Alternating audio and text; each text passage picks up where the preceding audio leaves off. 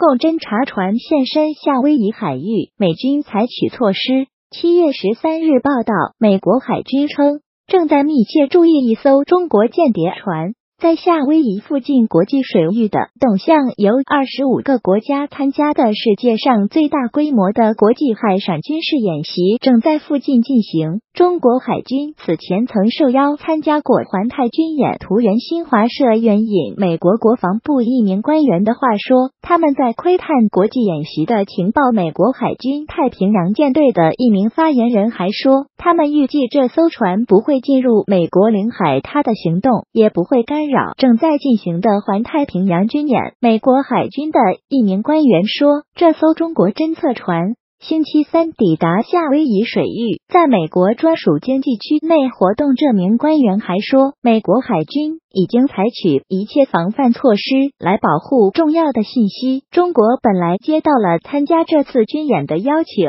但是在五月份，美国撤回了邀请。五角大楼发言人海军上校克里斯托弗洛根说：“中国军队最近在南中国海的行动。”破坏了当地的稳定，违反了在国际水域自由航行的国际准则。洛根说，中国的行为不符合环太平洋军演的原则和目的。